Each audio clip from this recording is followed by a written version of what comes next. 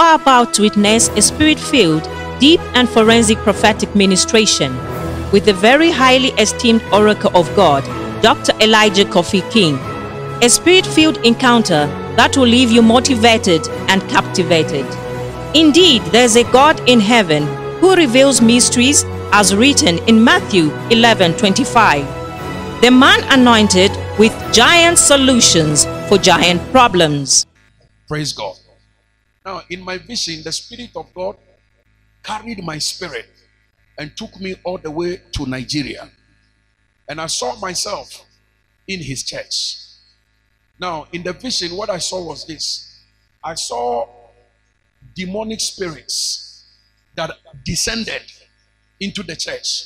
Their assignment was specifically that in this season, Winners Chapel must come down.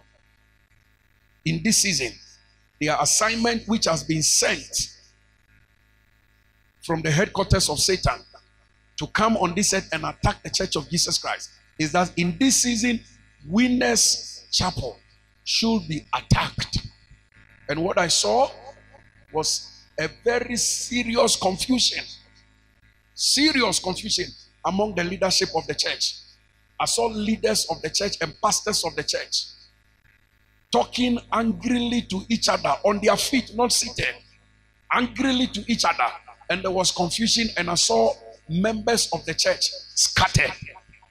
Now, in another revelation, I saw members of the church who were trying to come to church, but they could not enter into the church. Why they could not enter into the church, I couldn't see clearly whether there was a militant attack on the church. Listen to what I'm saying carefully. oh. And what I'm saying, I'm not necessarily saying to us here, I'm saying it to the body of Christ. So when we have to pray for Bishop Oyedepo and Winners Chapel worldwide, we will know how to pray. Pray with direction, pray with understanding. The members of the church were not able to enter into the church. There was something that created so much fear. Uh, it was a militant attack or suicide attack that came upon the church that prevented church members from coming back to the church. So this prophecy will put in on my YouTube channel. Of course, when it should reach the leaders of Winners Chapel, there is no international prophecy I have given as a senior pastor of this church which has failed. There are some we don't even take the trouble to bring it to the church, but it has come to pass. Everyone that God will speak through me to the nations of the world, they always come to pass.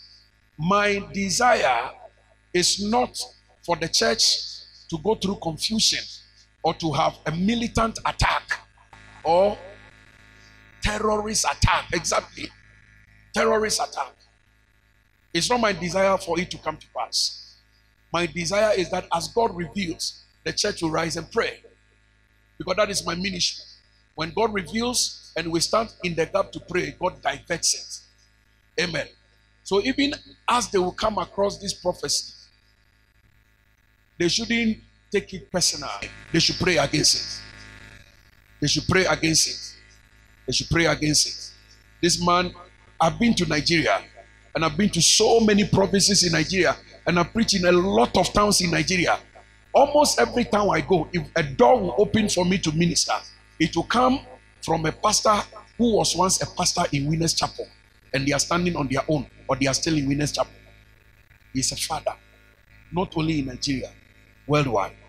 So it's not my desire that there will be serious confusion in the church among the pastors and the leaders of the church that will come out worldwide for everybody to hear and talk about. It is not also my desire that the church will suffer terrorist attack. Terrorist attack that will prevent members of the church confidently coming out from their house to say, We are going to church. And I'm talking about Winners Chapel. We are going to church to pray. Even us as a church, from today, after today, when we meet as a church, we'll bring it as a prayer topic and pray. Amen. And pray. And then also, if you are watching on social media and you are a member of Winners Chapel, pray for your pastor, Bishop Oyedepo and pray for the leaders of the church. So the impending confusion that is coming in the body of the leadership, God will stop it for unity and peace to prevail. Amen.